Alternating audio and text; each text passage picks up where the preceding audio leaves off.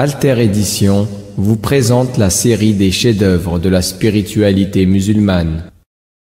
Aujourd'hui, le voyage après la mort d'Abu Hamid al-Ghazali. Louange à Dieu, qui s'est attribué à lui-même une existence éternelle, qui a destiné tous les autres êtres à prendre fin, qui a fait de la mort le sort commun des incrédules et des fidèles, qui par sa science a établi des différences entre les diverses destinées, qui tiendra lors du jugement dernier ses menaces et ses promesses antérieures, et qui révèle ces choses à celles de ses créatures qu'il choisit et qu'il veut honorer. Que la bénédiction de Dieu repose sur notre maître Mohammed, l'envoyé du roi omniscient, ainsi que sur sa famille et sur ses compagnons, auxquels il a accordé ses plus riches bienfaits dans le séjour de la paix. Dieu dit, toute âme doit goûter la mort. Ceci se trouve énoncé à trois reprises dans son livre. Or Dieu veut indiquer par là les trois morts pour les trois mondes différents. Car quiconque se rattache au monde terrestre doit mourir. Quiconque se rattache au monde supraterrestre appelé Malakut doit mourir. Quiconque enfin se rattache au monde suprême appelé Jabarot doit mourir. Le premier de ces mondes, c'est Adam, sa postérité, et toutes les créatures vivantes selon leurs trois espèces. Le second de ces mondes, c'est le Malakut qui comprend les diverses sortes d'anges et de génies. Enfin, le monde appelé Jabarot se compose des anges choisis de préférence, au sujet desquels Dieu a dit Dieu choisit des messagers d'entre les anges et d'entre les hommes. Sourate 22, verset 74. Ce sont les chérubins, les porteurs du trône et ceux qui se tiennent sous les voiles de la majesté. Dieu les décrit dans son livre et prononce leur éloge en disant ceux qui sont auprès de lui ne s'enorgueillissent point en sorte qu'ils cessent d'adorer Dieu. Ils ne s'en fatiguent jamais. Ils louent Dieu nuit et jour et ne s'en lassent point. Sourate 21, versets 19 et 20. Ils se tiennent en sa sainte présence. Ces anges mourront en dépit de la haute situation que Dieu leur a faite, ainsi que ceux qui sont élevés en dignité. Leur rang ne saurait les préserver de la mort. En premier lieu donc, je vais te parler de la mort terrestre. Prête l'oreille afin de bien saisir ce que je vais t'enseigner et te décrire, en te racontant le passage d'un état à un autre. Si tu crois en Dieu, à son envoyé et au jugement dernier, je ne t'offre qu'un enseignement absolument certain. Dieu témoignera en faveur de ce que je dirai. Le Coran confirmera mes paroles, avec le concours de la tradition authentique de l'envoyé de Dieu, que Dieu lui accorde sa bénédiction et sa paix. Le pacte primordial Lorsque Dieu rassembla les hommes en deux poignées, en passant les mains sur le dos d'Adam, paix sur lui, il les mit les uns à sa droite, les autres à sa gauche. Puis il ouvrit ses deux mains devant Adam, et Adam jeta les yeux sur leur contenu, qui avait l'apparence d'atomes imperceptibles. Puis Dieu dit, Ceux-ci sont destinés au paradis et je ne m'en soucierai plus. Leurs œuvres seront celles des gens destinés au paradis. Et ceux-là sont destinés à l'enfer, et je ne m'en soucierai plus.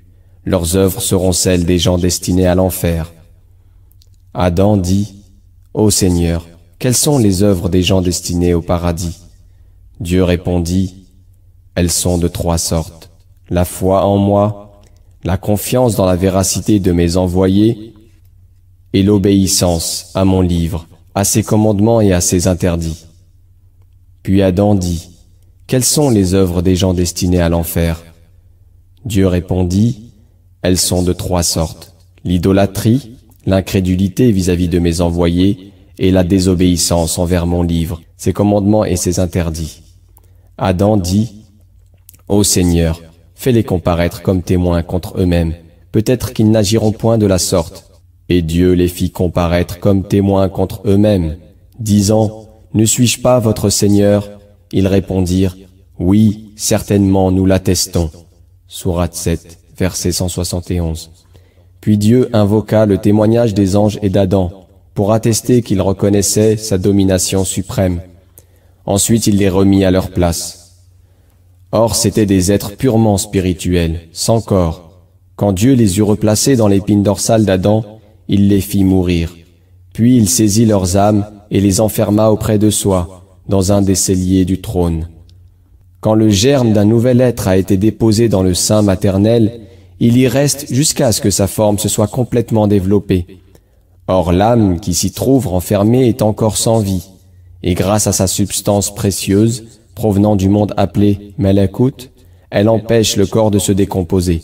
Quand Dieu lui insuffle l'esprit de vie, il lui rend sa partie la plus précieuse, celle qui lui a été enlevée et a été cachée pour un temps dans un des celliers du trône. Et l'enfant s'agite. Combien d'enfants il y a qui gémissent dans le sein de leur mère? Tantôt la mère l'entend, tantôt elle ne l'entend pas. Ceci est une première mort et une seconde vie. L'ivresse de la mort. Ensuite, Dieu place l'homme dans le monde terrestre pour la durée de sa vie, jusqu'à ce qu'il ait atteint le terme qui lui est fixé, les biens qui lui sont assignés et le lot qui lui est prescrit. Et quand approche sa fin, à savoir sa mort terrestre, alors descendent vers lui quatre anges. L'un saisit le pied droit du mourant, l'autre son pied gauche, le troisième sa main droite, et le dernier sa main gauche, afin d'enlever son âme. Quelquefois il arrive que les mystères du monde supraterrestre soient dévoilés au mourant avant qu'il râle, en sorte qu'il aperçoit ses anges. Toutefois, quand bien même la connaissance qu'il acquiert à leur sujet est réelle, il ne les voit pas conformément à leur valeur réelle, en tant qu'appartenant au monde supraterrestre. Si sa langue est encore libre, il parle de leur existence ou de l'existence de quelques-uns d'entre eux. Parfois aussi, il se parle à lui-même de ce qu'il voit. Et l'on s'imagine que tout cela est une œuvre que Satan accomplit en lui. Puis il se tait jusqu'au moment où sa langue est enchaînée, tandis que les anges le tirent par les extrémités de ses doigts. L'âme sort de son enveloppe comme une goutte d'eau s'échappe d'une outre. Quant au méchant, il est aussi difficile de faire sortir son esprit que d'extraire un clou de la laine mouillée. Le maître de la religion, paix sur lui, a dit le mourant s'imagine que son corps est rempli d'épines. Il lui semble que son âme doit sortir par le trou d'une aiguille et que le ciel tombe sur la terre tandis que lui-même est placé entre les deux. Ka'b el-Ahbar, interrogé au sujet de la mort, répondit C'est comme un rameau d'épines qu'on a introduit dans le corps d'un homme. Puis vient un autre homme, vigoureux, qui s'efforce de l'extraire, en coupant ce qu'il peut couper et en abandonnant le reste.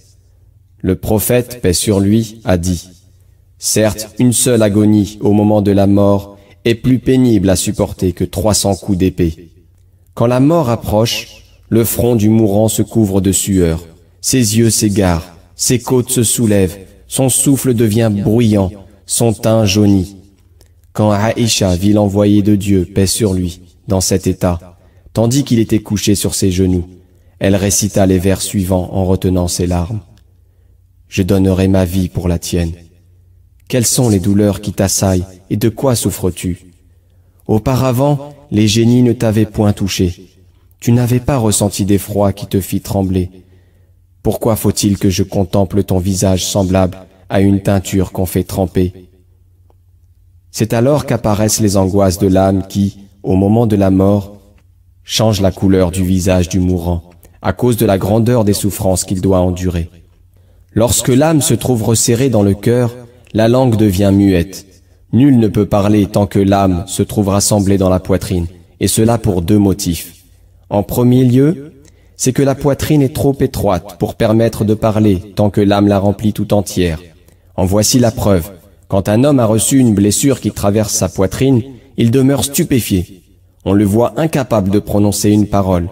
Tandis qu'en général, un homme qui a été transpercé peut encore crier, celui dont la poitrine est transpercée tombe mort, sans faire entendre sa voix. Et voici la seconde raison. Le mouvement de la voix a son origine dans la chaleur innée. Or, quand il arrive à un homme que ce mouvement se congèle et demeure congelé, il ne peut plus respirer, qu'en laissant se dissiper la force qui est rattachée au cerveau. Son souffle se modifie donc et s'altère sous l'influence de deux circonstances, l'élévation et le froid, car il a perdu la chaleur. À partir de ce moment, les états des morts diffèrent les uns des autres. Il y a des hommes que l'ange transperce avec une lance empoisonnée, qui a été trempée dans un poison de feu. Alors l'âme s'enfuit. Elle s'écoule en sortant et l'ange la saisit dans sa main, tandis qu'elle tremble, plus semblable au fif argent que toute autre chose.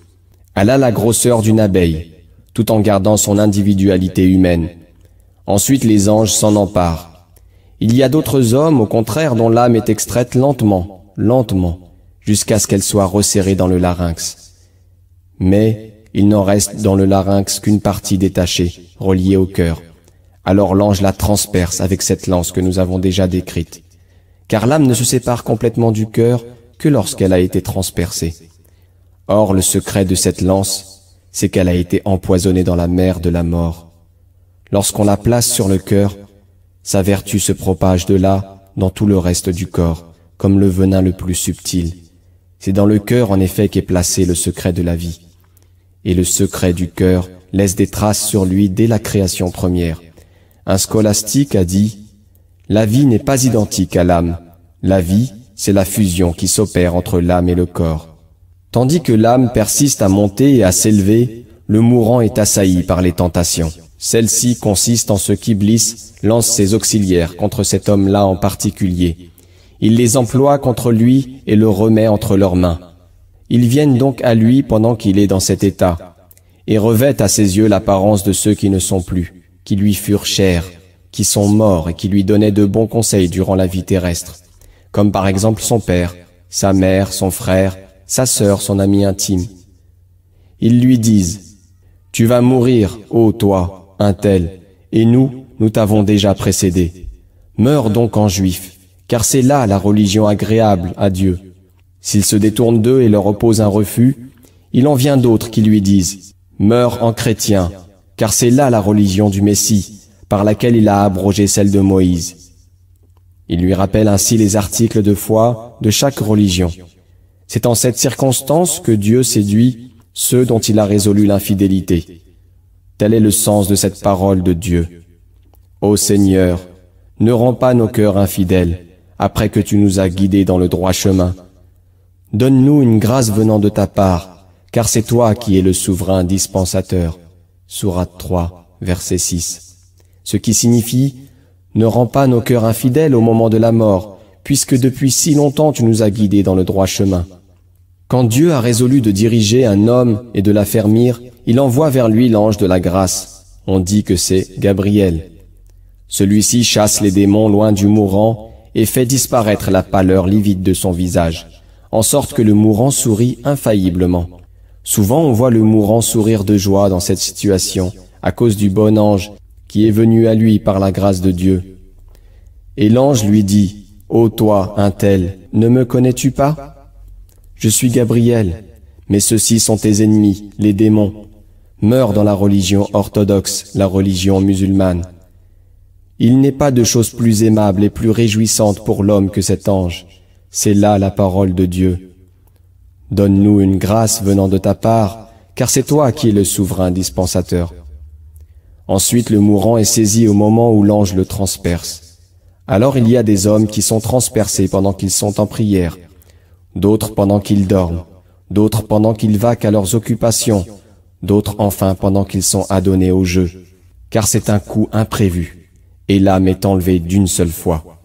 Il y a des hommes qui, lorsque l'âme atteint leur gorge, voient apparaître à leurs yeux les gens de leur connaissance qui les ont précédés, et ceux d'entre leurs voisins qui sont morts les entourent. Alors le mourant pousse un mugissement que toute chose entend sauf les hommes. Si ceux-ci l'entendaient, ils mourraient.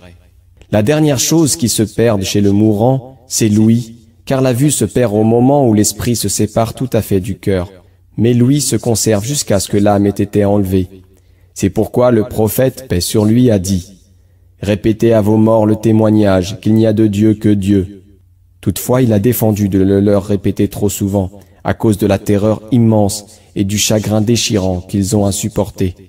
Quand vous regardez un mort et que vous voyez que sa salive a coulé, que ses lèvres se sont contractées, que son visage est devenu noir, que le blanc de ses yeux se montre, sachez qu'il est damné, et que la réalité de sa damnation dans l'autre monde vient de lui être dévoilée.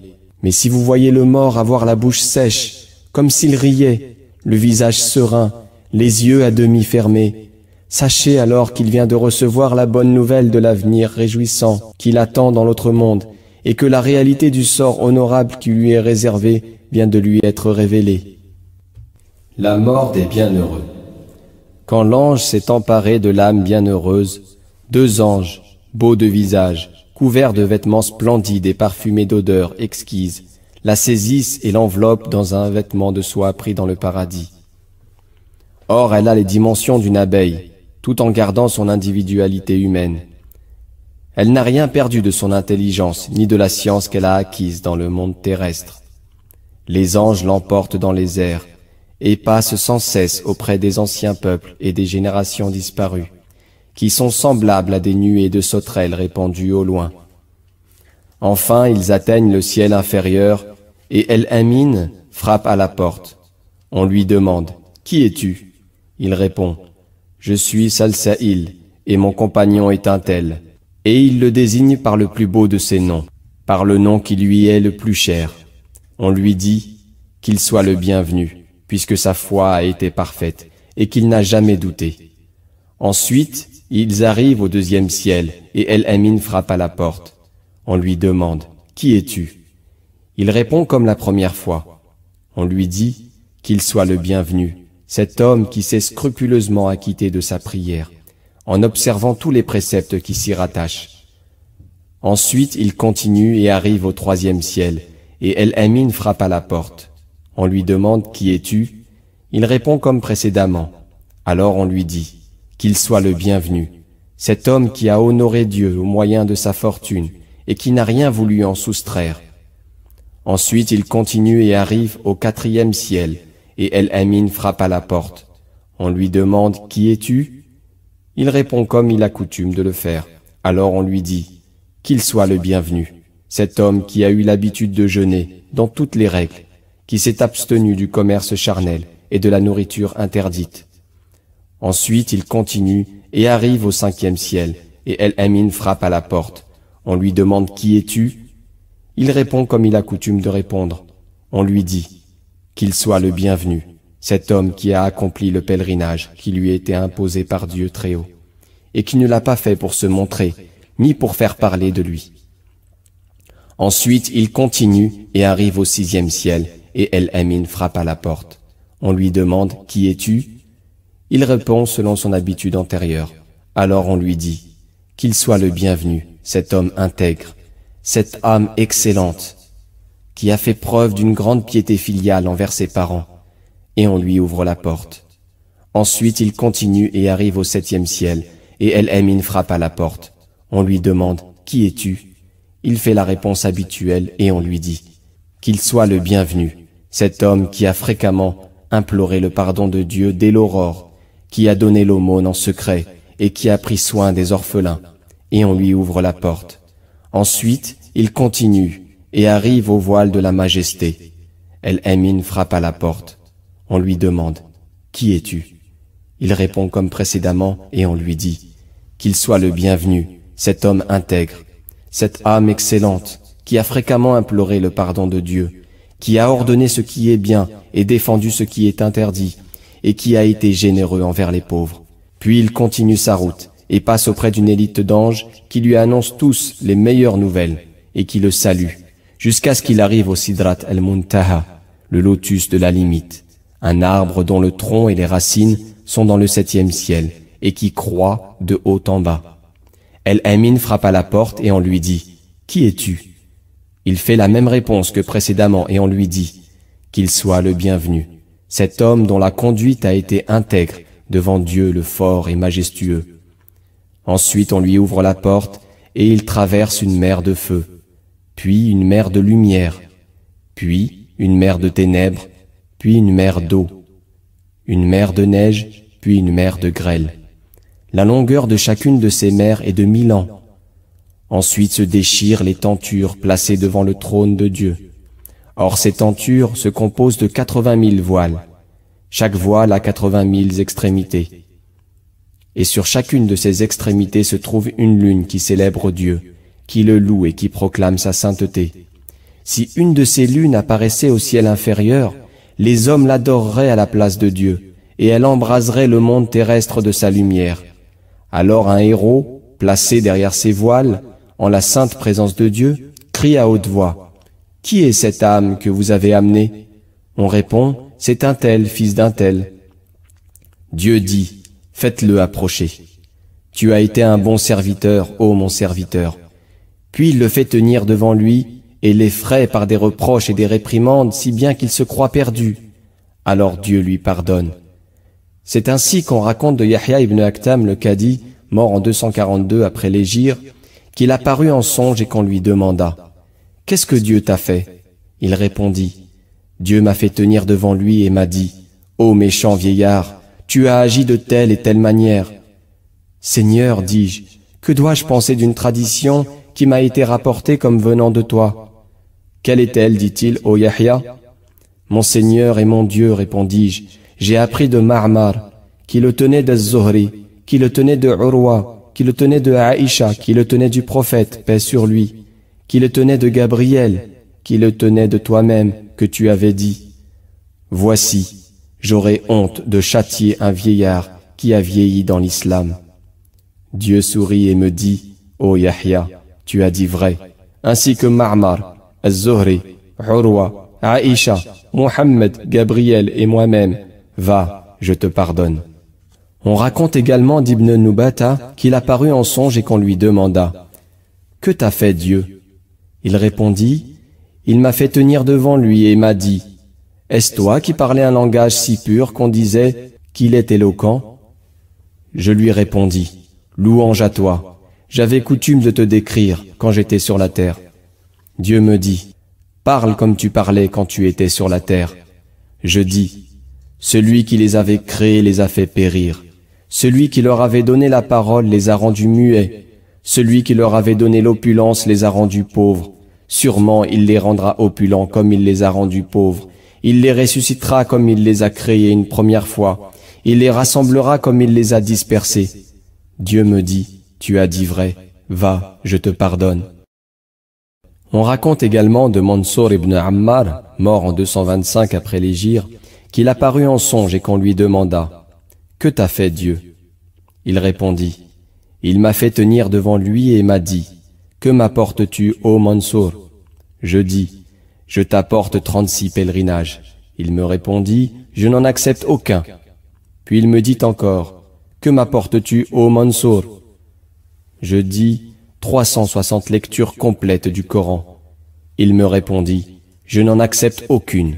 Puis il me dit encore, Que m'apportes-tu, ô Mansour? Je dis soixante années de jeûne.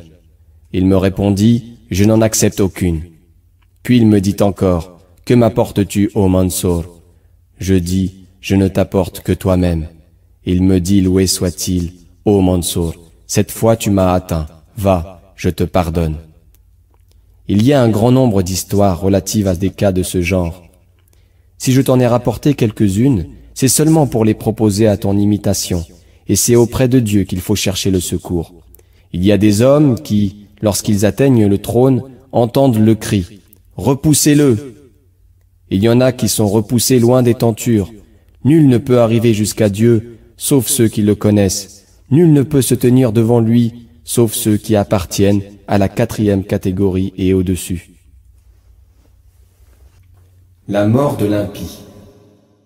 Quant à l'impie, on arrache son âme avec violence, et voici, son visage prend la même apparence que celui d'un homme qui a mangé de la coloquinte. L'ange lui dit, Sors, ô âme perverse, de ton corps pervers. Alors elle produit un son retentissant, semblable au braiement des ânes. Quand l'ange Israël s'est emparé de cette âme, il la remet à des anges au visage affreux, aux vêtements noirs, à la laine fétide, qui ont dans leurs mains des silices de crin dans lesquels ils l'enveloppent.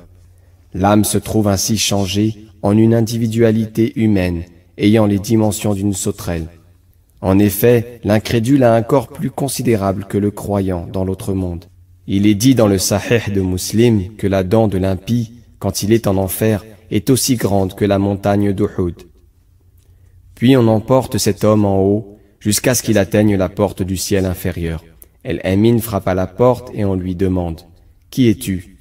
Il répond Je suis Qayabil, car le nom de l'ange préposé aux anges du châtiment est Qayabil. On lui dit Qui est-ce qui est avec toi? Il répond C'est un tel, fils d'un tel, et il le désigne par le plus laid de ses noms, par celui qu'il détestait le plus dans le monde terrestre. On lui dit, pas de souhait de bienvenue pour celui-ci. Dieu dit, et on ne leur ouvre pas les portes du ciel, et ils n'entreront pas dans le paradis jusqu'à ce qu'un chameau passe par le chat d'une aiguille. Sourate 7, verset 40. Quand El-Amin entend cette réponse, il le laisse tomber de sa main. Alors le vent s'en empare et le pousse dans un lieu écarté. Ceci est conforme à la parole de Dieu. Celui qui adore les faux dieux, c'est comme s'il tombait du ciel et que les oiseaux s'en emparent, ou bien que le vent le pousse dans un lieu écarté. Sourate 22, verset 31. Malheur à lui. Dans quelle confusion il se trouve. Quand il arrive à terre, les anges se précipitent sur lui et l'emportent au Sijin, qui est une grande pierre auprès de laquelle se rassemblent les esprits des impies. Quant aux chrétiens et aux juifs, on les repousse également loin du trône, jusque dans leur tombeau. C'est le cas de tous ceux qui ont été leurs co-religionnaires, qui ont été présents lorsqu'on a lavé leurs cadavres et qui les ont enterrés. Quant à l'idolâtre, il ne verra rien de tout cela, car il sera le jouet du vent. Quant à l'hypocrite, enfin, il en est de lui comme de celui qu'on repousse dans sa tombe avec haine et répulsion. Quant à ceux d'entre les croyants qui n'ont pas accompli entièrement leur devoir, il y a plusieurs catégories parmi eux. L'un, c'est sa prière qui le repousse. Car lorsqu'un homme a accompli sa prière d'une manière imparfaite, et qu'il en a supprimé une partie, on enroule sa prière comme on enroule un vêtement usé, et on l'en frappe au visage. Ensuite, sa prière s'élève en disant, Que Dieu te néglige, comme tu m'as négligé. Un autre, ce sont ses aumônes qui le repoussent, parce qu'il a fait ses aumônes uniquement pour qu'on dise, un tel est généreux. Quelquefois aussi, un homme dépense l'argent de ses aumônes auprès des femmes et cherche à se concilier leur bonne grâce par ce moyen. Nous avons vu des cas de ce genre, que Dieu nous préserve d'encourir le même châtiment. Tel autre encore, c'est le jeûne qui le repousse. En effet, il peut avoir jeûné par rapport aux aliments, mais non par rapport au langage, ce qui signifie qu'il a tenu des propos obscènes et qu'il s'est vanté. Le mois du jeûne se détourne de lui, parce qu'il l'a négligé. Tel autre encore, c'est le pèlerinage qui le repousse, soit qu'il l'ait fait uniquement pour qu'on dise un tel a fait le pèlerinage, soit qu'il l'ait fait au moyen d'argent mal acquis. Tel autre enfin, c'est sa désobéissance envers ses parents qui le repousse. Tout le reste des devoirs de la piété n'est connu que de ceux qui sont versés dans la connaissance intime des actions, et qui savent comment il faut agir pour se conformer à la volonté du roi, du souverain dispensateur. Du même genre sont beaucoup d'autres histoires et traditions, entre autres celles que rapporte Mu'ad ibn Jabal au sujet des actions qui repoussent les hommes. J'ai seulement voulu mettre la chose à la portée de mes lecteurs, puisque d'ailleurs les divans sont remplis de récits qui confirment mon dire. Les hommes qui sont instruits en matière religieuse connaissent la vérité de ces choses comme ils connaissent leurs propres enfants. Ce qui se passe dans la tombe. Quand l'âme est renvoyée vers le corps, elle trouve qu'on a déjà commencé à le laver si son lavage s'impose. Elle s'installe auprès de sa tête en attendant que l'on termine de le laver. Par sa grâce, Dieu libère parfois le regard des hommes pieux, et ils aperçoivent leur âme sous sa forme terrestre. C'est ainsi qu'un homme raconte qu'il était occupé à laver le corps de l'un de ses fils, lorsque celui-ci lui apparut soudain, assis au chevet de son propre cadavre. Par peur de céder à l'illusion, cet homme quitta le côté où il apercevait la silhouette de son fils, et alla se mettre de l'autre côté. Il ne cessa pourtant pas de le voir, jusqu'à ce que le mort fût enseveli dans son linceul. Ensuite, après la mise en terre du corps, cet homme, versé dans la science, revit la silhouette de son fils installée au-dessus de sa tombe. On rapporte également que plus d'un homme parmi les saints a interpellé un mort pendant qu'il était dans sa tombe en ces termes. Où est un tel? Où est l'esprit? Et en guise de réponse, le linceul s'était agité spontanément, à deux ou trois reprises, au niveau de la poitrine du mourant. On rapporte également sur Er-Rabi ibn Khaytam qu'il s'est agité dans les mains de celui qui le lavait. Nous savons également qu'un mort a parlé dans son cercueil à l'époque de Abu Bakr et a évoqué les mérites de ce dernier, ainsi que ceux de Omar. C'est qu'évidemment cette âme avait contemplé un spectacle appartenant au monde supérieur, car Dieu dévoile ces choses à lui de ceux qu'il veut. Une fois que le mort est enveloppé dans son linceul, son âme lui colle extérieurement à la poitrine, et ne cesse de mugir et de gémir, en criant aux anges, Hâtez-vous de m'emporter vers la miséricorde de mon Seigneur. Ah, si vous saviez vers quelle destination vous m'emportez.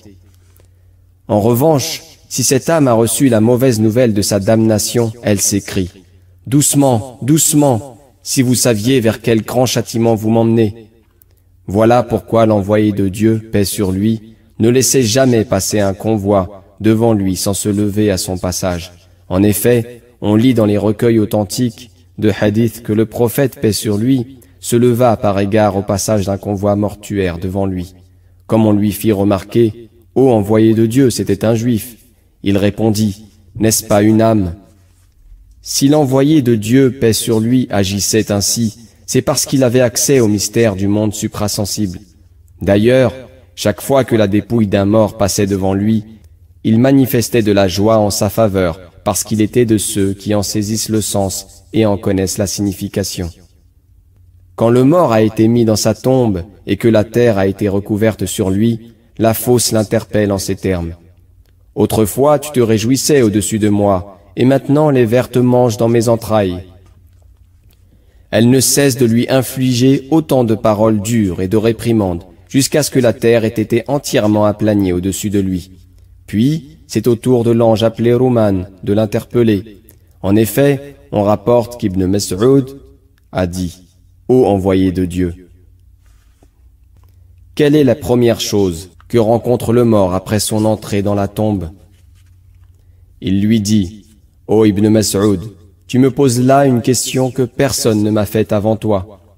La première chose qui lui arrive, c'est un ange appelé Roman qui l'interpelle. En effet, cet ange qui sillonne les tombes l'interpelle en ces termes. Ô serviteur de Dieu, tu vas transcrire tous tes actes. Le mort lui répond, Je n'ai ni encrier ni papier. L'ange lui dit, Quoi donc? Ton linceul sera ton papier, ta salive ton encre, et ton doigt ta plume. Puis il lui coupe un morceau de son linceul, et le mort se met à écrire, quand bien même il n'aurait pas su écrire pendant sa vie terrestre. Il écrit alors, et se souvient de ses bonnes et de ses mauvaises actions, comme s'il les avait faites toutes en un seul jour. Ensuite, l'ange plie ce morceau d'étoffe et l'enroule autour du cou du mort. Puis l'envoyé de Dieu, paix sur lui, récita ce verset. Nous attachons son destin au cou de chaque homme. Sourate 17, verset 13. Une fois cela terminé, le mort voit entrer auprès de lui les deux provocateurs de la tombe, Munkir wa Nakir, ce sont deux anges noirs qui déchirent la terre avec leurs dents. Leurs longues chevelures traînent sur le sol.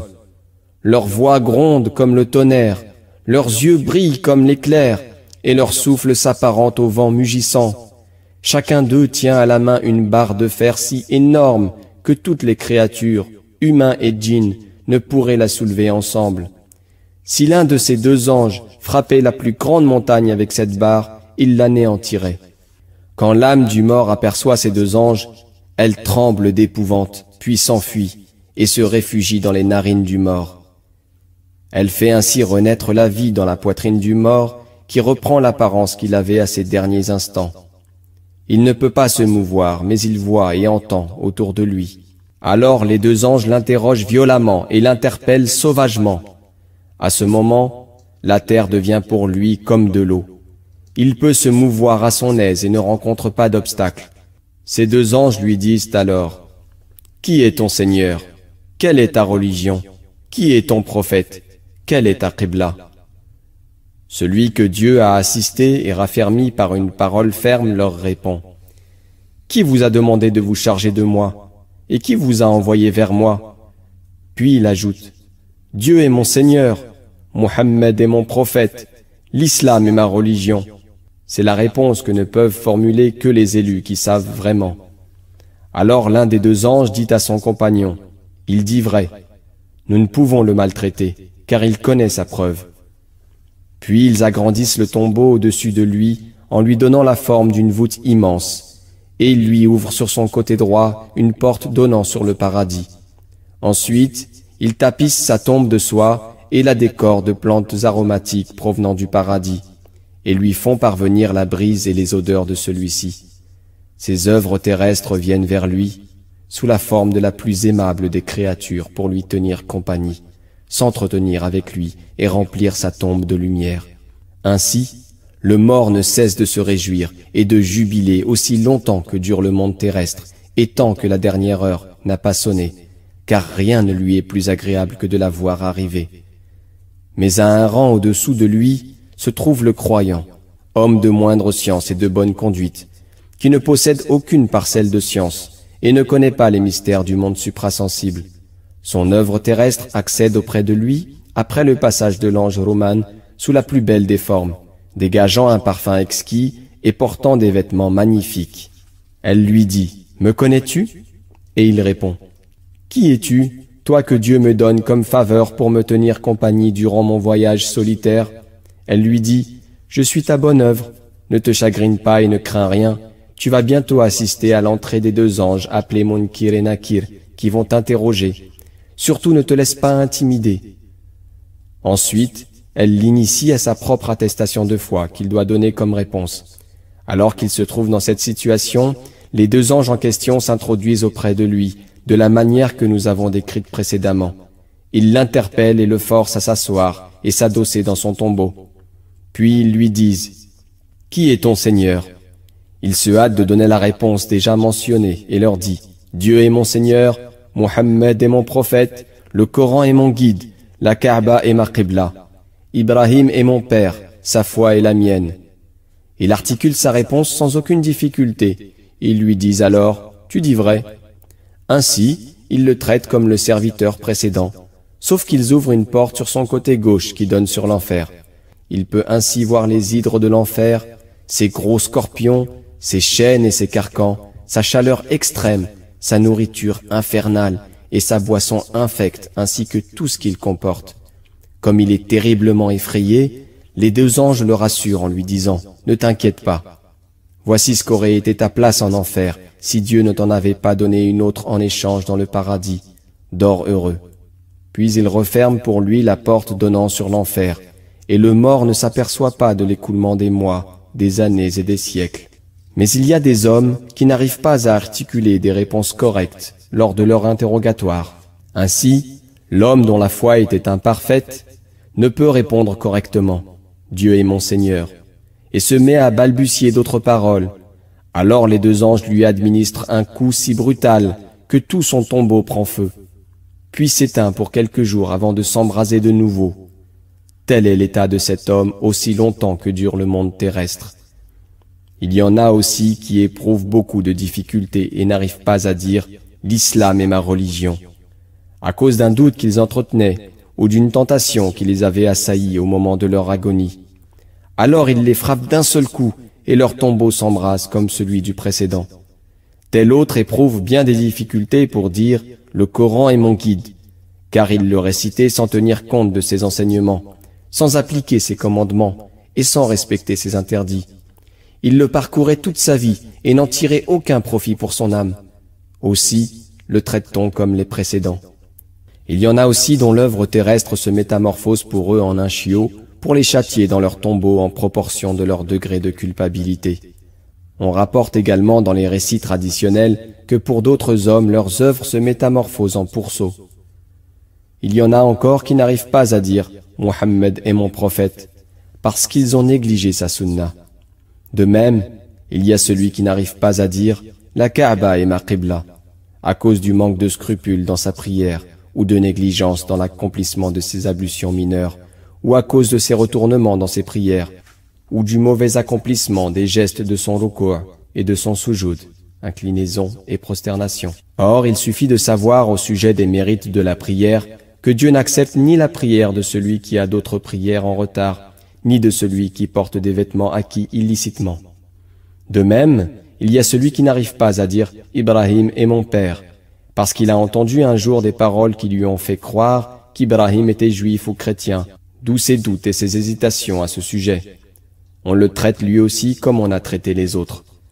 Nous avons du reste amplement évoqué tous les cas dans notre livre El-Ihya.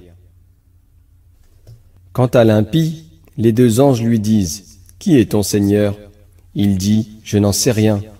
Ils lui disent, Ah, tu ne sais pas qui il est, tu ne le connais pas. Alors ils le frappent avec leurs barres de fer, jusqu'à ce qu'il soit englouti jusqu'à la septième terre. Puis la terre le rejette de nouveau dans son tombeau, et il le frappe à sept reprises. À partir de ce moment, les destinées des impies varient. Il y en a parmi eux dont la conduite revêt la forme d'un chien qui est mort jusqu'à l'heure du jugement. Ce sont les hérétiques. Il y en a d'autres dont la conduite est métamorphosée en un porc, pour les châtier dans leur tombeau. Ce sont ceux qui ont douté. Telles sont les situations diverses dans lesquelles se trouvent les habitants des tombeaux. Nous avons seulement voulu les mentionner en abrégé. Le fond de tout ceci, c'est que l'homme n'est puni dans son tombeau que parce qu'il a redouté pendant sa vie terrestre. Et il y a des hommes qui craignent plus les chiens que les lions, car les tempéraments des hommes sont nombreux et variés. Nous demandons à Dieu de nous accorder le salut et le pardon avant que nous ayons à subir la pénitence. Plus d'une fois, raconte-t-on, il est arrivé qu'un mort apparut en songe et qu'on lui demanda comment il se trouvait. Un jour, répondit-il, je ne me suis pas lavé avant de prier. Aussi Dieu m'a-t-il livré à un loup qui m'épouvante dans mon tombeau et qui rend ma position misérable. Un autre homme apparut aussi en songe et on lui demanda, Qu'est-ce que Dieu t'a fait? Il répondit, Laisse-moi. Un jour je ne fus pas en état de laver une souillure, et Dieu m'a revêtu d'un vêtement de feu, dans lequel je suis condamné à me tordre. Un autre encore apparut et on lui dit, Qu'est-ce que Dieu t'a fait? Il répondit, Le baigneur qui m'a lavé après ma mort m'a porté avec violence, et un clou qui était dressé dans la baignoire m'a écorché. J'en souffre encore.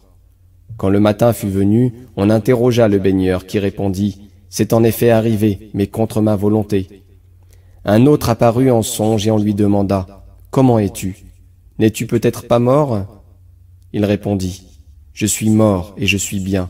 Sauf qu'au moment où vous avez aplani le sol au-dessus de moi, une pierre m'a brisé une côte et j'en souffre. On ouvrit le tombeau et on trouva tout comme il l'avait dit. Un autre apparut à son fils pendant son sommeil et lui dit, Ô mon fils, répare la maison de ton père que la pluie a gâtée. Quand le matin fut venu, cet homme envoya quelqu'un au tombeau de son père, et on trouva en effet que des infiltrations venant d'un ruisseau voisin y avaient pénétré, en sorte que le tombeau était plein d'eau. On raconte encore d'un arabe du désert qu'il dit à son fils, Qu'est-ce que Dieu t'a fait? Son fils répondit, Il ne m'a pas fait de mal, mais je suis enterré dans le voisinage d'un certain homme qui fut impie, et je suis tout effrayé de voir quel châtiment il doit subir. Il y a une foule de récits du même genre qui démontrent que les habitants des tombeaux sont tourmentés dans leurs tombeaux. Il y a une foule de récits du même genre qui démontrent que les habitants des tombeaux sont tourmentés dans leurs tombeaux. Du reste, la preuve en est suffisamment donnée par cette parole du maître de la religion, paix sur lui. Le mort souffre dans son tombeau comme le vivant dans sa maison. L'envoyé de Dieu, paix sur lui, a aussi défendu de briser les os des morts. Un jour, passant près d'un homme assis devant un tombeau, il le lui défendit et dit, Ne tourmentez pas les morts dans leur tombeau. Le prophète, paix sur lui, visitant le tombeau de sa mère Amina, se mit à pleurer, et tous ceux qui l'accompagnaient pleurèrent aussi. Puis il dit, J'ai demandé à Dieu la permission d'intercéder pour ma mère, mais il ne me l'a pas accordée. Alors je lui ai demandé la permission de visiter son tombeau, et il me l'a accordé. Visitez les tombeaux, car ils vous rappellent la mort. Mohammed, paix sur lui, avait aussi l'habitude de dire, lorsqu'il se trouvait près des tombeaux pour les visiter, que la paix soit avec les habitants de ces demeures, musulmans et croyants. Si Dieu le veut, nous vous rejoindrons. Vous nous avez précédés, et nous, nous vous suivrons. Ô Dieu, pardonne-nous et pardonne-leur. Dans ta bonté ne nous punis pas, ni eux non plus. Le prophète, paix sur lui, avait coutume, quand les femmes allaient vers les tombeaux, d'instruire ces femmes et de leur dire, prononcez ces paroles. Et il les leur enseigna. Salih el-Mouzani dit, j'ai demandé à un savant pourquoi il est défendu de prier sur les tombeaux. Il m'a fait connaître alors une tradition conçue en ces termes. Ne priez pas sur les tombeaux, car c'est un malheur sans limite. On raconte également qu'un homme dit J'étais occupé un jour à prier sur les tombeaux par une chaleur intense, lorsque soudain j'aperçus une image ressemblant à mon père, debout sur le sommet de son tombeau. Je me prosternai tout tremblant et je l'entendis qui disait La terre est donc trop étroite pour toi puisque tu viens depuis quelque temps nous déranger avec tes prières, Le Sahih rapporte que l'envoyé de Dieu, paix sur lui, passant auprès d'un orphelin qui pleurait sur le tombeau de son père, pleura aussi par compassion pour lui. Puis il dit, Les morts sont punis par les larmes que les vivants répandent sur eux. En d'autres termes, les larmes les affligent et leur font du mal. Que de morts sont apparus en songe, qui interrogés sur leur état ont répondu, Mon état est mauvais à cause de celui-ci et de celle-là qui pleure abondamment sur moi. Les dualistes, Zindir, seuls nient cela. Le Sahih rapporte que l'envoyé de Dieu, paix sur lui, a dit, Quand l'un de vous passe près du tombeau d'un croyant, son frère, qu'il a connu sur cette terre, et qu'il lui adresse un salut, il est impossible que le mort n'en ait pas connaissance et ne lui rende pas son salut. Le prophète, paix sur lui, dit encore en se détournant d'un linceul qu'on portait en terre, Les morts entendent le bruit de vos pas. Et s'ils entendent le bruit des pas, à plus forte raison doivent-ils entendre toute autre chose. Un homme lettré mourut sans laisser de testament.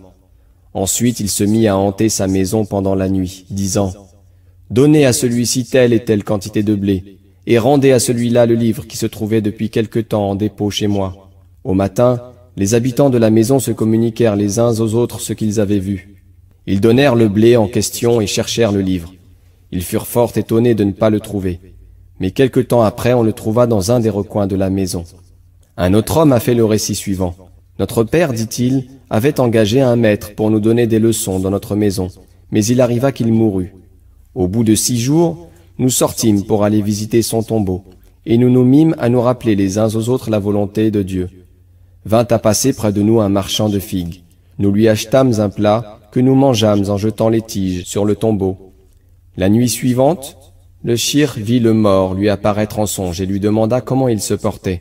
Je suis très bien, répondit-il, sauf que tes enfants ont fait de mon tombeau un tas d'immondices et y ont tenu des propos sur moi, disant ce n'était après tout qu'un incrédule. Le shir nous réprimanda à ce sujet. Quant à nous, nous dîmes louange à Dieu il ne cesse de nous tourmenter dans l'autre monde comme dans celui-ci. Il y a une foule d'histoires du même genre. J'ai seulement voulu en citer quelques-unes à titre d'exemple et d'avertissement, afin que du moindre on puisse conclure au plus grand. Les habitants des tombeaux se partagent en quatre catégories. Premièrement, il y en a qui sont couchés sur le dos jusqu'à ce que leur personnalité s'efface, que leurs cadavres enflent et tombent en poussière. Ensuite, ils circulent sans cesse dans le monde supraterrestre, au-dessous du ciel inférieur. En second lieu, il en est auquel Dieu envoie le sommeil, en sorte qu'ils ne savent pas ce qui leur arrive. Ils ne se réveillent qu'au premier son de la trompette et meurent. Troisièmement, il y en a qui ne restent que deux ou trois mois dans leur tombeau.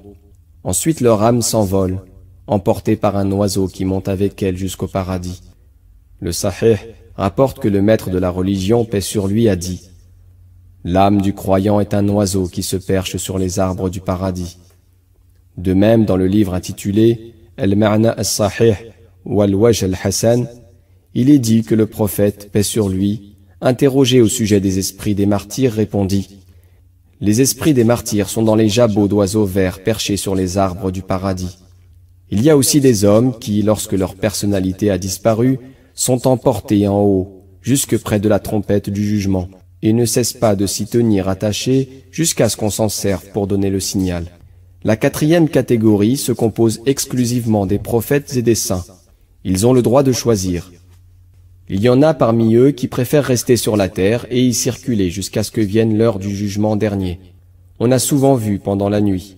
Je pense qu'Abu Bakr et Omar sont de ce nombre. Quant au prophète, paix sur lui, lui-même, il a choisi de circuler dans les trois mondes. Il a dit un jour au sujet de cette détermination, afin de donner un avertissement et un conseil, Dieu m'honore trop pour me laisser sur la terre plus de trois dizaines d'années.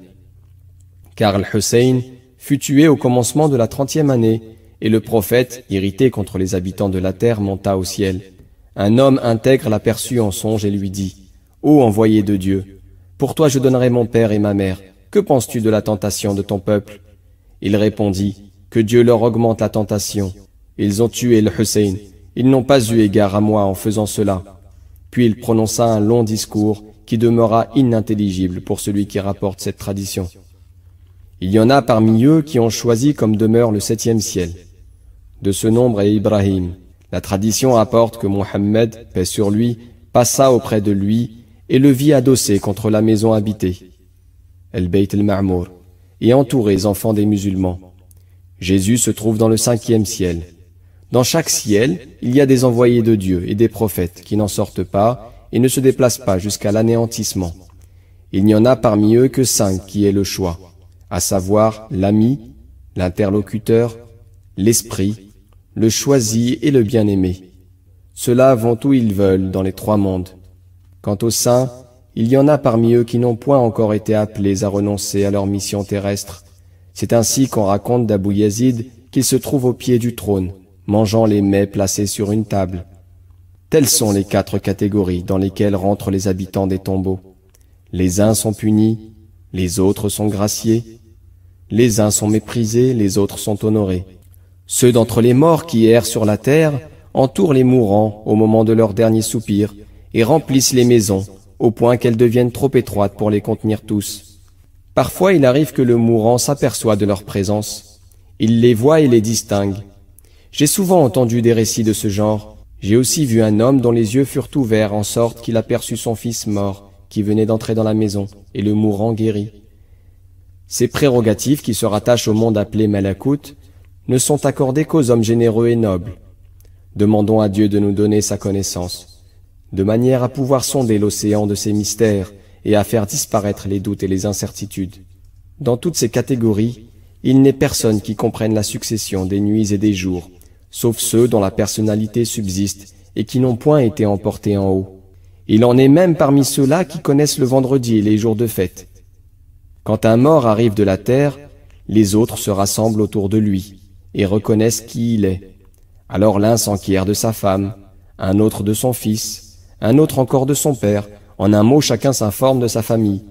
Quelquefois il arrive qu'un homme meure sans rencontrer aucune de ses connaissances, à cause d'un doute qui s'est emparé de lui au moment de sa mort et l'a rendu juif ou chrétien. Il va rejoindre les armées de ses co-religionnaires. Alors, quand un autre mort arrive de la terre, ses voisins lui demandent Que sais-tu sur le compte d'un tel? Il répond Il est mort. Il s'écrie Nous appartenons à Dieu et nous retournons à lui. Sans doute cet homme a été emmené vers les habitants de l'enfer. Un homme étant apparu en songe, on lui demanda Qu'est-ce que Dieu t'a fait? Il répondit Moi et quelques autres, il nomma cinq de ses amis, nous sommes parfaitement bien et agréablement. Or il avait été tué par les hérétiques, ainsi que ses cinq compagnons. On le questionna encore au sujet d'un autre de ses voisins, afin de savoir ce que Dieu lui avait fait. Il répondit, Nous ne l'avons point aperçu. Or cet individu s'était jeté lui-même dans la mer et s'était noyé. Je pense que sa place est avec les suicidés, mais Dieu sait mieux ce qu'il en est. Le Sahih rapporte que l'envoyé de Dieu, paix sur lui, a dit, Quand un homme s'est tué lui-même avec un fer tranchant, il paraît au jour de la résurrection un fer tranchant à la main, et s'en transperce le sein dans l'enfer, où il est plongé pour l'éternité. Quiconque s'est suicidé continue à se trouver dans le même état qu'au moment de sa mort. Ainsi, quand un homme s'est précipité lui-même du haut d'une montagne et s'est tué de cette manière, il doit aussi se jeter la tête la première dans le feu de l'enfer. De même, quand une femme a péri par le fer, elle ne cesse de sentir cette douleur jusqu'à ce que la trompette donne le signal du jugement. Ceci est une seconde vie. Il est avéré qu'Adam rencontra Moïse qui lui dit, C'est toi que Dieu a créé de sa main? C'est toi qui l'as animé de son souffle. C'est devant toi qu'il a fait prosterner ses anges. C'est à toi qu'il a assigné le paradis pour demeure. Pourquoi donc lui as-tu désobéi? Adam lui répondit, Ô Moïse, c'est avec toi que Dieu s'est entretenu. C'est à toi qu'il a révélé la loi. N'as-tu donc pas lu dans celle-ci ces mots? Or Adam a désobéi à son Seigneur. Moïse lui répondit, Oui. Adam lui demanda, Combien d'années y a-t-il eu, à ton avis, entre le moment où mon péché a été décrété et celui où je l'ai commis? Moïse lui répondit, Ton péché était résolu cinquante mille ans avant que tu l'aies commis. Adam répondit, Ô Moïse, Veux-tu donc me blâmer pour un péché qui était déjà résolu cinquante mille ans avant que je le commisse Le Sahih raconte encore que l'envoyé de Dieu, paix sur lui, la nuit où il fut transporté au ciel, accomplit une prière de deux unités, avec les envoyés de Dieu, et qu'il invoqua la bénédiction de Dieu sur Aaron et sur Enoch, en appelant sur eux et sur leur peuple la miséricorde divine. Or, il y avait déjà longtemps qu'ils étaient morts et que leur personnalité avait disparu. Ceci n'est du reste que la vie des âmes, et c'est après la résurrection que commence une seconde vie. Quant à la première vie, c'est le jour où Dieu les fit comparaître contre eux-mêmes, disant, Ne suis-je pas votre Seigneur? Et ils lui répondirent, Oui, certainement nous l'attestons. Surat 7, verset 172. La vie terrestre ne compte pas, parce qu'elle n'est qu'illusoire au point de vue de la jouissance. On raconte que le prophète, paix sur lui, a dit, Les hommes sont endormis, quand ils meurent, ils se réveillent. Tels sont les différents états des morts quand leur personnalité a disparu. Il y en a parmi eux qui restent immobiles, d'autres qui circulent. Il y en a qu'on frappe, d'autres qu'on punit. Ce qui prouve la vérité de toutes ces allégations, c'est la parole de Dieu. Ils seront exposés matin et soir au feu de l'enfer, et le jour où viendra l'heure du jugement, on leur dira, Entrez, ô peuple de Pharaon, dans le pire des tourments. Surat 40, verset 46. Or, le jour est la preuve du châtiment de Barzakh. Le jour de la résurrection. Quand Dieu veut faire arriver l'heure du jugement, la trompette en donne le signal, selon le mystère que nous avons décrit dans le livre de l'Ihya. Alors les montagnes se dispersent et se meuvent à la façon des nuages. Les mers s'écoulent les unes dans les autres. Le soleil est ployé et devient d'un noir cendré. Les mers enflent au point que le monde aérien se remplit d'eau. Les divers mondes passent les uns dans les autres. Les étoiles se disséminent comme les perles d'un collier dont on a troublé l'ordre. Le ciel devient semblable à l'essence de rose et tourne comme une meule. La terre est violemment ébranlée. Tantôt elle se contracte, tantôt elle se dilate comme un morceau de cuir. Enfin, Dieu commande d'arracher les sphères célestes. Il ne reste aucun être vivant dans les sept terres et les sept cieux non plus, que dans le trône. Leur âme les a tous abandonnés. Quant aux créatures douées d'un esprit, leur esprit les quitte également. La terre est vide de ses habitants, et le ciel de ceux qui y résident, selon les diverses espèces d'êtres. Alors Dieu apparaît dans les nues, il saisit les sept cieux dans sa main droite, et les sept terres dans sa main gauche, et il s'écrie, Ô monde terrestre, Ô monde vil, où sont tes chefs et tes seigneurs? Tu les as séduits par tes attraits, tu les as distraits de leur destinée future par ton éclat. Ensuite, Dieu s'adresse à lui-même les éloges qu'il veut. Il se glorifie de son existence éternelle, de sa force permanente, de son empire continuel, de sa puissance souveraine, de sa sagesse éminente. Puis, Dieu dit, À qui appartient aujourd'hui l'empire? Et il répète trois fois cet appel, mais personne ne lui répond. Alors il répond lui-même et dit, à Dieu, l'unique, le Tout-Puissant. Puis il accomplit un acte encore plus grandiose que le précédent. Il place les cieux sur un de ses doigts et les terres sur un autre doigt. Il les secoue et s'écrie, Je suis le roi, je suis le roi. Où sont ceux qui ont servi d'autres dieux que moi? Où sont ceux qui ont adoré les idoles tout en se nourrissant de mes dons? Où sont ceux qui ont puisé de mes bienfaits la force de se révolter contre moi? Où sont les orgueilleux? Où sont ceux qui se rengorgeaient avec fierté et jactance? À qui appartient aujourd'hui l'Empire si ce n'est à moi? Il demeure ainsi aussi longtemps qu'il le veut. Du trône jusqu'à la mer, il n'y a pas une seule âme qui se rende compte de ce qui se passe, car Dieu a frappé de surdité jusqu'aux jeunes filles aux grands yeux noirs, les huri, et aux enfants dans leur paradis. Ensuite, Dieu ouvre un puits de feu dans le Sakar. Il en sort une flamme de feu, et elle embrase les quatorze mers avec autant de facilité que le feu dévore des flocons de laine. Cette flamme fait disparaître jusqu'à la dernière goutte d'eau. Elle laisse la terre semblable à un charbon noir, et le ciel semblable à l'huile bouillante ou à l'airain fondu. Mais au moment où la flamme est près de s'attaquer aux parties visibles du ciel, Dieu la repousse tout d'un coup elle s'apaise et ne se relève pas pendant mille ans. Puis Dieu ouvre un des celliers du trône dans lequel se trouve la mer de la vie. Il en arrose la terre, et voici cette pluie à l'apparence de sperme humain. Elle tombe sur la terre qui est altérée, mourante, desséchée. Elle la revivifie et la ranime. Elle ne cesse pas de tomber sur la terre jusqu'à ce qu'elle la recouvre totalement et qu'elle s'élève à quarante coudées au-dessus du sol. Alors les corps commencent à croître à partir de la vertèbre inférieure.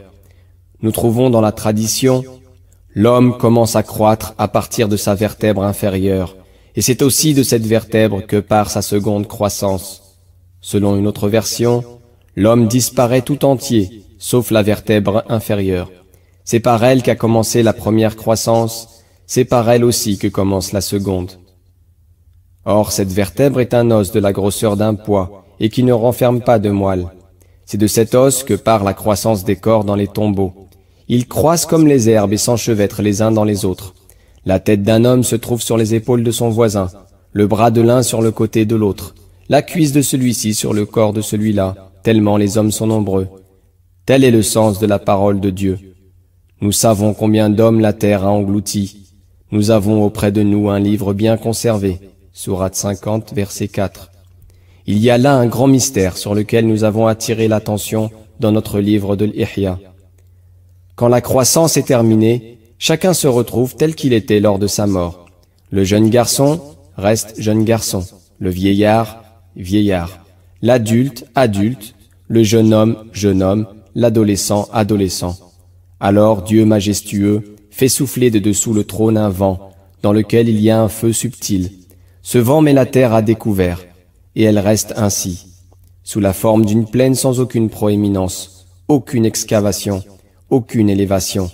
Les montagnes sont réduites à l'état de sable fin et ténu. Puis Dieu très haut rappelle à la vie Israfil, et celui-ci souffle dans la trompette, en se tenant debout sur le rocher de Jérusalem.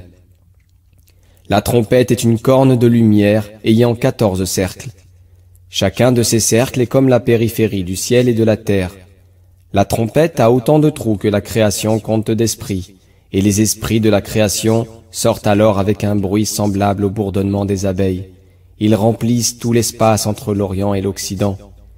Chaque âme rentre dans son corps, loué soit celui qui leur en donne l'inspiration, y compris les animaux, les oiseaux et tous les êtres doués d'un esprit. Tout ceci est conforme à la parole divine. Alors on souffle une seconde fois dans la trompette, et ils sont tous là, debout et dans l'attente. Sourate 39, verset 68. Et à cette autre parole du Très-Haut, il n'y aura qu'un son unique et ils seront dans l'attente. Sourate 37, verset 19. Ils s'asseyent, chacun sur son tombeau. Ils sont nus, dans l'attente et dans l'étonnement, les yeux baissés, plongés dans les réflexions et la stupéfaction, sans aucun vêtement. Selon la parole de l'envoyé de Dieu, paix sur lui, rapportée dans le Sahih, au jour de la résurrection, les hommes se rassembleront sans chaussures, ni vêtements et incirconcis, sauf ceux qui sont morts en vrais croyants pendant le pèlerinage et qui n'ont pas été ensevelis. Ceux-ci se rassembleront pour le jugement avec des vêtements pris dans le paradis. D'autres encore seront dans le même cas, à savoir les gens du peuple de Mohammed, paix sur lui, qui se seront conformés à la sunna sans en retrancher ne fût-ce que le trou d'une aiguille. En effet, l'envoyé de Dieu, paix sur lui, a dit, Enveloppez soigneusement vos morts dans des linceuls, car les gens de mon peuple seront rassemblés pour le jugement dans leurs linceuls. Tous les autres peuples seront nus. C'est Abu Sufyan qui rapporte cette tradition en citant ses autorités. Le prophète, paix sur lui, a dit encore, Le mort sera revêtu de ses vêtements quand il comparaîtra pour le jugement. Et cette dernière version nous paraît la plus vraisemblable de celles qui nous ont été rapportées. On raconte aussi qu'un homme, se sentant près de mourir, dit « Revêtez-moi de tel et tel vêtement ».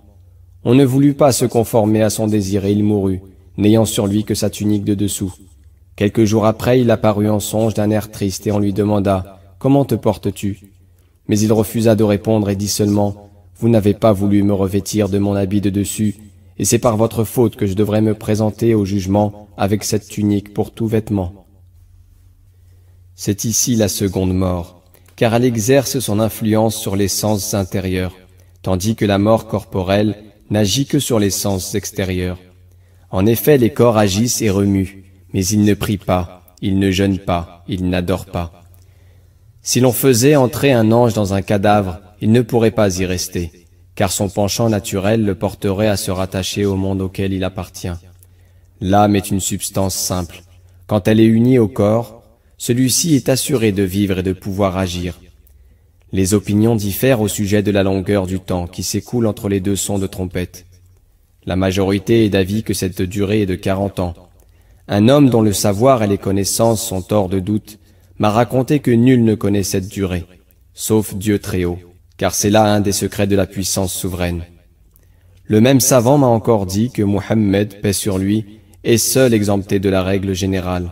Je lui demandai ce que signifie en ce cas cette parole du prophète. Je serai le premier pour lequel la terre s'ouvrira au jour de la résurrection. Et je trouverai mon frère Moïse se tenant au pied du trône. Je ne sais pas s'il aura été ressuscité avant moi, ou bien s'il est de ceux auxquels Dieu accorde l'exemption. Il me répondit, Il n'y a aucune contradiction entre cette tradition et ce que nous affirmons, car au moment de la résurrection, les âmes sont encore séparées des corps. À ce moment donc Moïse ne peut pas avoir de corps. Peut-être l'exemption dont parle l'envoyé de Dieu, paix sur lui, ne se rapporte-t-elle qu'à l'épouvante? Car au moment de l'anéantissement et du grand effroi, les créatures sont dans un état conforme à la parole de Ka'b, qui dit au sujet du jugement dernier, dans la salle d'audience de Omar ibn al-Khattab, Si ta conduite, ô fils d'al-Khattab, était celle de soixante-dix prophètes, je pense pourtant que tu ne pourrais échapper à ce jour-là. Car personne ne pourra échapper à ce jour-là sauf ceux que le Dieu fort et majestueux a exemptés de l'horreur, de l'effroi et de l'anéantissement. Ce sont les gens de la quatrième catégorie, et sans aucun doute Moïse en fait partie. L'exemption se rapporte donc à l'action de la crainte, mais non à l'essence même de la vie. Car si l'un d'eux se trouvait là quand Dieu demande À qui appartient aujourd'hui l'Empire? Il répondrait À toi, ô Dieu unique, ô Tout-Puissant. Les états des créatures après le second souffle dans la trompette. À ce moment donc, ils se trouvent tous assis sur leur tombeau. Il y en a parmi eux qui sont nus, d'autres vêtus. Les uns sont noirs, les autres blancs. Leur lumière varie aussi. Les unes sont comme de petites lampes, d'autres comme de grandes lampes, d'autres encore comme les étoiles ou comme la lune, d'autres enfin comme le soleil. Ils ne cessent pas de tenir tous la tête baissée, ne sachant pas ce qu'on va leur faire, et cela pendant mille ans. Enfin apparaît un feu qui vient de l'Occident et qui produit un grand bruit. Les têtes de toutes les créatures se tournent de ce côté avec stupeur, les hommes et les génies, les oiseaux et les animaux. La conduite de chacun d'eux se présente alors devant lui et lui dit, Lève-toi et monte au lieu du rassemblement. Quand la conduite d'un homme a été bonne, elle se métamorphose en un moyen de transport sur lequel il monte.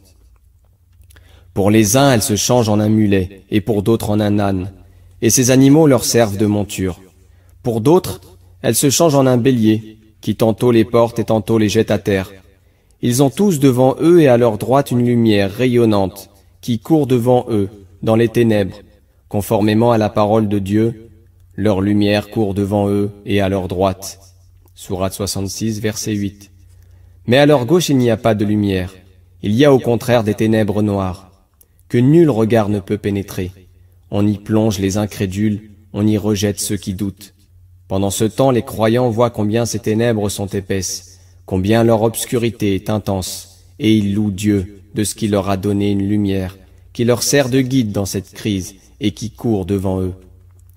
Car Dieu fort et majestueux découvre aux yeux de l'homme croyant, auquel il accorde ses bienfaits, l'état des malheureux qui subissent leur châtiment, afin de lui montrer clairement la voie des prérogatives. C'est ainsi qu'il a fait à l'égard des habitants du paradis et de l'enfer dans le passage du Coran. Il se leva et le vit dans les tourments du feu infernal. Sourate 37, verset 53. Et dans cet autre passage, quand leur regard se détourne pour apercevoir les habitants de l'enfer, ils disent, Ô Seigneur, ne nous mets pas avec les gens injustes. Sourate 7, verset 47. En effet, il y a quatre choses dont la valeur ne peut être appréciée que par quatre autres. Nul ne connaît la valeur de la vie, sauf les morts. Nul ne connaît la valeur de la santé, sauf les malades. Nul ne connaît la valeur de la jeunesse, sauf les vieillards. Nul ne connaît la valeur de la richesse, sauf les pauvres. Il y a des hommes dont la lumière se promène sur leurs pieds et sur les extrémités de leurs doigts. Tantôt elle s'éteint, tantôt elle se rallume. Or la lumière de tout homme au moment de la résurrection est proportionnée à sa foi. De même, la plus ou moins grande vitesse de son passage sur le sirat est proportionnelle à ses œuvres. Quelqu'un dit à l'envoyé de Dieu, paix sur lui, Comment les hommes seront-ils rassemblés au jour du jugement, ô envoyé de Dieu? Il répondit, Ils seront deux, trois, quatre, cinq, même dix à la fois sur le même chameau. Le sens de cette tradition, Dieu sait mieux ce qu'il en est, c'est que Dieu a pitié de ceux qui ont embrassé l'islam. De leurs bonnes œuvres, il leur crée un chameau qui leur sert de monture. Or s'il en est ainsi, c'est que leur conduite a laissé à désirer, si bien qu'ils sont obligés de s'associer pour monter sur un chameau. Ils sont comme des gens qui partent pour un voyage lointain, et dont aucun n'a les moyens de s'acheter une bête de somme qui le transporte. Alors deux ou trois hommes s'associent pour payer le prix d'un chameau. Ils l'achètent et s'en servent alternativement pendant la route. Mais jusqu'où pourra arriver un chameau qui a dix hommes à porter? C'est là le cas des gens dont la conduite a été faible, c'est-à-dire qui ont été avares de leur argent et ont refusé de le distribuer en aumône. Pourtant, Dieu leur accorde le salut. Agis donc, ô lecteur, de façon que le Dieu très haut te donne une conduite, qui plus tard se changera en un chameau pour toi seul. Sache que si l'on agit ainsi, on est sûr de faire ses affaires avec profit. Ceux qui craignent Dieu forment une seule troupe selon la parole de Dieu. Le jour où nous rassemblerons ceux qui craignent Dieu en une seule troupe auprès du miséricordieux. Sourate 19, verset 85. Le livre intitulé Gharib el-Riwaya rapporte que l'envoyé de Dieu, paix sur lui, fit à ses compagnons le récit suivant. Il y eut autrefois un Israélite qui accomplit beaucoup de bonnes œuvres. Il sera sûrement au milieu de vous au jour du jugement. Ses compagnons lui dirent, Qu'est-ce qu'il a fait, ô envoyé de Dieu? Il répondit, Il hérita de son père une grosse fortune et acheta un jardin qu'il affecta à l'usage des pauvres, disant, Ce sera mon jardin auprès de Dieu. Puis il distribua des pièces d'or en grand nombre aux infirmes, disant, avec cet argent, je m'achèterai des esclaves des deux sexes auprès de Dieu. Puis il affranchit de nombreux esclaves, disant, Ce seront mes serviteurs auprès de Dieu. Un jour, il rencontra un aveugle et vit que tantôt il marchait, tantôt il tombait sur son visage. Il lui acheta une bête de somme pour qu'il montât dessus, disant, Ce sera ma bête de somme, sur laquelle je monterai auprès de Dieu. Par Dieu, dans la main duquel est mon âme, ajouta le prophète, paix sur lui. Il me semble que je la vois amenée, scellée et bridée pour qu'il monte sur elle et qu'elle le porte vers la place du jugement. À propos de la parole de Dieu, qui est-ce qui est le mieux guidé, celui qui marche prosterné sur son visage ou bien celui qui s'avance tout droit sur une voie droite? Sourate 67 verset 22. Quelques commentateurs disent que ce verset